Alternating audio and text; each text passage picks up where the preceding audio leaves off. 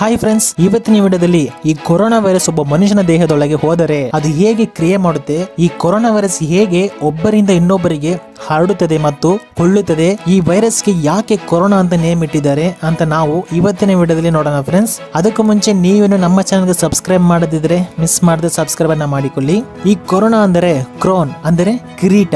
ಒಂದು ಕಿರೀಟದಲ್ಲಿ ಮೇಲ್ಭಾಗದಲ್ಲಿ ಹೇಗೆ ಮುಳ್ಳು ಮುಳ್ಳಾಗಿ ಹೇಗೆ ಇರುತ್ತೋ ಅದೇ ರೀತಿನೇ ಈ ವೈರಸ್ ಅಲ್ಲೂ ಮುಳ್ಳು ಮುಳ್ಳಾಗಿ ಕಂಡು ಬರುತ್ತದೆ. ಇದಕ್ಕೆ ಸರ್ಫೇಸ್ ಪ್ರೋಟೀನ್ ಅಂತ ಹೇಳ್ತಾರೆ. ಅದಕ್ಕೆ ಈ ವೈರಸ್ಗೆ ಕೊರೋನಾ ವೈರಸ್ ಅಂತ ಹೆಸರಿಟ್ಟಿದ್ದಾರೆ. ಈ ಕೊರೋನಾ ವೈರಸ್ ನೋಡಿದರೆ ಜೀವಂತವಾಗಿರುವ ಸೆಲ್ಗಳಿಗೆ ಮಾತ್ರ ಅಫೆಕ್ಟ್ ಮಾಡುತ್ತೆ. ನಮ್ಮ ಶ್ವಾಸ ಮಂಡಲದಲ್ಲಿರುವ ಶ್ವಾಸಕೋಶಗಳು ಮತ್ತು ಗಂಟಲು ಪ್ರದೇಶ ಮೂಗು ಇಲ್ಲಿ ಮಾತ್ರ ಈ ವೈರಸ್ ಅಫೆಕ್ಟ್ ಮಾಡುತ್ತದೆ. ಈ ವೈರಸ್ ಅನ್ನ ಒಳಗಡೆ ನೋಡಿದರೆ, ಅಂದ್ರೆ ಸೆಂಟರ್ ಅಲ್ಲಿ ನೋಡಿದರೆ ಜೆನೆಟಿಕ್ ಮೆಟೀರಿಯಲ್ ಅಂತ ಇರುತ್ತದೆ. ಇದು ಹೇಗೆ ಸೆಲ್ಗಳಿಗೆ ಸೇರಬೇಕು, ಹೇಗೆ ಹೆಚ್ಚಿಸಬೇಕು ಎಂಬ ಎಲ್ಲಾ ಇನ್ಫಾರ್ಮೇಶನ್ ಇಟ್ಟಿರುತ್ತದೆ ಅಂತೆ ಈ ಜೆನೆಟಿಕ್ ಮೆಟೀರಿಯಲ್ ರಕ್ಷಿಸೋದಕ್ಕಾಗಿ ಒಂದು ಪ್ರೋಟೀನ್ ಇರುತ್ತದೆ. ಅದಕ್ಕೂ ಮೇಲೆ ಇನ್ನೊಂದು ಪ್ರೋಟೀನ್ ಇರುತ್ತದೆ ಅಂತೆ ಈ ಪ್ರೋಟೀನ್ ಮನುಷ್ಯರಲ್ಲಿರುವ ಸೆಲ್ಗಳ ಮೇಲೆ ಕುಳಿತು ಅಂಟಿಕೊಳ್ಳಲು ಸಹಾಯ ಮಾಡುತ್ತದೆ ಅಂತೆ ಅದಕ್ಕೂ ಮೇಲೆ ಈ ಮುಳ್ಳು ಮುಳ್ಳಾಗಿರುವ ಸರ್ಫೇಸ್ ಪ್ರೋಟೀನ್ ಇರುತ್ತದೆ. ಇದೇ ಈ ಕೊರೋನಾ ವೈರಸ್ ಸರಳ ರಚನೆ ಅನ್ಬೋದು. ಕೊರೋನಾ ವೈರಸ್ ಒಳಗಾಗಿರುವವರು ಕೆಮ್ಮುವಾಗ ಮೂಗು ಮತ್ತು ಬಾಯಿಯಿಂದ ಬರುವ ಲಾಲಾರಸದ ಕಣಗಳಲ್ಲಿ ಈ ವೈರಸ್ ಇರುತ್ತದೆ. ಈ ಕಣಗಳನ್ನು ಯಾರಾದರೂ ಶ್ವಾಸಿಸಿದರೆ ಒಳಗಡೆ ಹೋಗಿ ಗಂಟಲಲ್ಲಿ ಇನ್ಫೆಕ್ಟ್ ಮಾಡುತ್ತದೆ. ಹಾಗೆ ಸ್ವಲ್ಪ ಸ್ವಲ್ಪ ಟ್ರಕಿಯಾ ಎಂಬ ಶ್ವಾಸನಾಳದ ಪ್ರದೇಶಕ್ಕೆ ಅಟ್ಯಾಕ್ ಮಾಡುತ್ತೆ. ಹಾಗೆ ಕೆಳಗೆ ಇಳಿದು ಬೇರೆ ತರ ಇರುವ ಬ್ರಾಂಕೆಸ್ ದಾಟಿ ಅದರ ಎಂಡಲ್ಲಿರುವ ಹೇರ್ ಬ್ಯಾಗ್ ಆದ ಆಲ್ವಿಯಲ್ಗೆ ಹೋಗ್ಬಿಡ್ತದೆ ಅಂತೆ. ಆ ಆಲ್ವಿಯಲ್ ಸುತ್ತಲೂ ನಮ್ಮ ಹೃದಯದಿಂದ ಬರುವ ಚಿಕ್ಕ ಚಿಕ್ಕ ರಕ್ತನಾಳಗಳು ಇರುತ್ತದೆ. ಈ ರಕ್ತನಾಳದ ಮುಖಾಂತರನೇ ನಮ್ಮ ರಕ್ತದಲ್ಲಿರುವ ಈ ಕಾರ್ಬನ್ ಡೈಆಕ್ಸೈಡ್ ಶ್ವಾಸಕೋಶಕ್ಕೆ ಕಳುಹಿಸುತ್ತದೆ. ಅದೇ ಸಮಯದಲ್ಲಿ ಶ್ವಾಸಕೋಶನ ಕ್ಲೀನ್ ಮಾಡುವ ಆಕ್ಸಿಜನ್ ಬಂದು ಅದೇ ರಕ್ತನಾಳದಿಂದ ಹೃದಯಕ್ಕೆ ಹೋಗಿ ಹಳ್ಳಿಯಿಂದ ನಮ್ಮ ದೇಹಕ್ಕೆಲ್ಲ ಸಪ್ಲೈ ಆಗುತ್ತದೆ ಅಂತೆ. ಈ ಕೊರೋನಾ ವೈರಸ್ ಏನು ಮಾಡುತ್ತೆ ಅಂದ್ರೆ ಶ್ವಾಸ ನಡೆಯುವಂತಹ ಅತಿ ಮುಖ್ಯ ಎನ್ನುವ ಆಲ್ವಿಯಲ್ಗೆ ಹೋಗಿ ಆರಾಮಾಗಿ ಕುಳಿತು ಬಿಡ್ತದೆ ಅಂತೆ. ಹೇಗೆ ಕುಳಿಯುತ್ತದೆ ಅಂದ್ರೆ ಈ ಕೊರೋನಾ ವೈರಸ್ ಮೇಲೆ ಇರುವ ಸರ್ಫೇಸ್ ಪ್ರೋಟೀನ್ ನೋಡಿದರೆ ಒಬ್ಬ ಕಲ್ಲತನ ಹತ್ರ ಇರುವ ನಕಲಿ ಕೀ ತರ.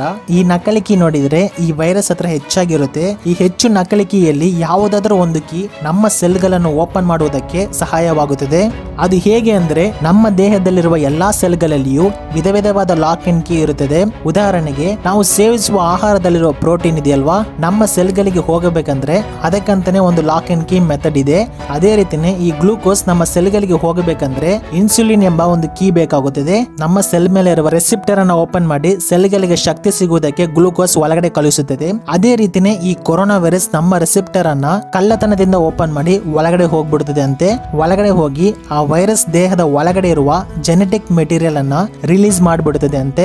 ಈ ಜೆನೆಟಿಕ್ ಮೆಟೀರಿಯಲ್ ಏನ್ ಮಾಡುತ್ತೆ ಅಂದ್ರೆ ನಮ್ಮ ಸೆಲ್ಗಳಲ್ಲಿರುವ ಡಿ ಎನ್ ಎಲ್ಲಿ ಕಂಬೈನ್ ಆಗಿ ಒಂದು ಕಟ್ಟಿ ತರ ನಮ್ಮ ಸೆಲ್ಗಳ ಮೇಲೆ ಉಂಟು ಮಾಡುತ್ತದೆ. ಈ ಕಟ್ಟಿ ಏನ್ ಮಾಡುತ್ತೆ ಅಂದ್ರೆ ಬಂಡಿಂಗ್ ಪ್ರೊಸೆಸ್ ನಡೆದು ಚಿಕ್ಕ ಚಿಕ್ಕದಾಗಿ ಒಡೆದು ಹೊಸ ಹೊಸ ಕೊರೋನಾ ವೈರಸ್ ಉಂಟು ಮಾಡುತ್ತದೆ ಅಂತೆ. ಈ ಪ್ರೋಗ್ರೆಸ್ ನಡೆಯುವಾಗ ಆ ಪರಿಣಾಮಗೊಂಡ ಸೆಲ್ಗಳಲ್ಲಿ ಇನ್ಫ್ಲೂಯೇಷನ್ ಆಗಿ ಆ ಜಾಗದಲ್ಲಿ ಪಸ್ ತರ ಉಂಟಾಗುತ್ತದೆ ಅಂತೆ. ಈ ಸಂಭವ ಚಿಕ್ಕ ಚಿಕ್ಕದಾಗಿರುವ ಹೇರ್ ಬ್ಯಾಗ್ ಆದ ಆಲ್ವಿಯೋಲಿ ನಡೆಯುತ್ತಿದ್ದರಿಂದ ಆ ಹೇರ್ ಬ್ಯಾಗ್ ಫುಲ್ ಆಗಿ ಪಸ್ ಬಂದ್ಬಿಡ್ತದೆ ಅಂತೆ. ಆದ್ದರಿಂದ ನಮ್ಮ ದೇಹಕ್ಕೆ ಬೇಕಾಗುವ ಆಕ್ಸಿಜನ್ ಸರಿಯಾಗಿ ಸಿಗುವುದಿಲ್ಲ. ಅದೇ ಸಮಯದಲ್ಲಿ ಒಳಗಿರುವ ಕಾರ್ಬನ್ ಡೈಆಕ್ಸೈಡ್ ವೇಗವಾಗಿ ಹೊರಗಡೆ ಬಿಡುವುದಕ್ಕೆ ಆಗಲ್ಲ. ಅದರಿಂದ ನಮ್ಮ ದೇಹದಲ್ಲಿ ತಲೆನೋವು, ಜ್ವರ, ಮೈಕೈ ನೋವು, ಹಲವು ವಿಧವಾದ ಸಿಂಪ್ಟಮ್ಸ್ ಬರುತ್ತಿದೆ. ಸ್ವಲ್ಪ ದಿನದಲ್ಲೇ ಈ ಸಿಂಪ್ಟಮ್ಸ್ ಎಲ್ಲಾನು ಜಾಸ್ತಿಯಾಗಿ ನಮ್ಮನ್ನು ಕಷ್ಟಪಡುವ ಹಾಗೆ ಮಾಡಿ ಮರಣವನ್ನು ಬರುತ್ತದೆ. ನಾವು ನಮ್ಮ ದೇಹವನ್ನು ಹೇಗೆ ಇಟ್ಟಿದರೆ ಈ ವೈರಸ್ ಇಂದ ತಪ್ಪಿಸಲು ಸಾಧ್ಯ ಅಂತ ಕೇಳಿದರೆ, ಈ ಕೊರೋನಾ ವೈರಸ್ ಎಂಟರ್ ಆಗುವುದೇ ಮೂಗು, ಬಾಯಿ, ಶ್ವಾಸನಾಳದಿಂದ ಶ್ವಾಸಕೋಶಕ್ಕೆ ಹೋಗುತ್ತದೆ. ಈ ಎಲ್ಲಾ ಜಾಗದಲ್ಲಿ ಮ್ಯೂಕಿಸ್ ಎಂಬ ಶೀತದ ರೀತಿ ಕವರ್ ಆಗಿರುತ್ತದೆ. ಇದೇ ಈ ಇಮ್ಯೂನ್ ಸಿಸ್ಟಮ್ ಅನ್ನುತ್ತಾರೆ. ಯಾಕೆ ಕವರ್ ಆಗಿರುತ್ತೆ ಅಂದ್ರೆ, ಈ ತರ ಕೆಟ್ಟದಾದ ವೈರಸ್ ನಮ್ಮ ದೇಹದೊಳಗೆ ಬರುತ್ತದೆ ಅಂದ್ರೆ, ಅದನ್ನ ನಮ್ಮ ಸೆಲ್ಗಳ ಮೇಲೆ ಕುಳಿತುಕೊಳ್ಳಲು ಬಿಡದೆ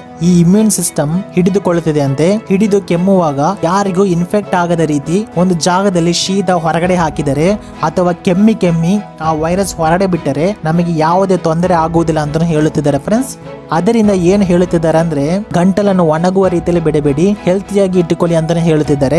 ಒಂದು ವೇಳೆ ನಮ್ಮ ಗಂಟಲು ಒಣಗಿ ಹೋಗುವ ರೀತಿ ಇದ್ದರೆ ಈ ವೈರಸ್ ಒಳಗಡೆ ಹೋಗೋದಕ್ಕೆ ತುಂಬಾನೇ ಈಸಿ ಆಗಿರುತ್ತದೆ. ನಮ್ಮ ಗಂಟಲು ಶ್ವಾಸಕೋಶಕ್ಕೆ ತೊಂದರೆ ಆಗುವ ತರ ಸ್ಮೋಕ್ ಮಾಡುವುದು, ಇಲ್ಲಾಂದ್ರೆ ಪೊಲ್ಯೂಷನ್ ಇರುವ ಸ್ಥಳದಲ್ಲಿ ಹೋಗಿ ಸುತ್ತುವುದು, ಅಥವಾ ಪೊಲ್ಯೂಷನ್ ಇರುವ ಸ್ಥಳದಲ್ಲಿ ಮಾಸ್ಕ್ ಹಾಕದೆ ಕೆಲಸ ಮಾಡುವುದು ಈ ರೀತಿ ಕಂಡು ಬಂದರೆ ಖಂಡಿತ ನಮಗೆ ತೊಂದರೆ ಉಂಟು ಮಾಡುತ್ತದೆ. ಓಕೆ ಫ್ರೆಂಡ್ಸ್ ಈ ವಿಷಯ ನಿಮಗೆ ಹೆಲ್ಪ್ಫುಲ್ ಆದ್ರೆ ಮಿಸ್ ಮಾಡದೆ ಒಂದು ಲೈಕ್ ಅನ್ನು ಕೊಡಿ. ಹಾಗೆ ನಿಮ್ಮ ಫ್ರೆಂಡ್ಸ್ ಗಳಿಗೂ ಶೇರ್ ಅನ್ನು ಮಾಡಿ. ನಮ್ಮ ಚಾನಲ್ಗೆ ನೀವು ಸಬ್ಸ್ಕ್ರೈಬ್ ಮಾಡದಿದ್ರೆ ಮಿಸ್ ಮಾಡದೆ ಸಬ್ಸ್ಕ್ರೈಬ್ ಅನ್ನ ಮಾಡಿಕೊಳ್ಳಿ. ನೆಕ್ಸ್ಟ್ ವಿಡಿಯೋದಲ್ಲಿ ನೋಡೋದ? Thank you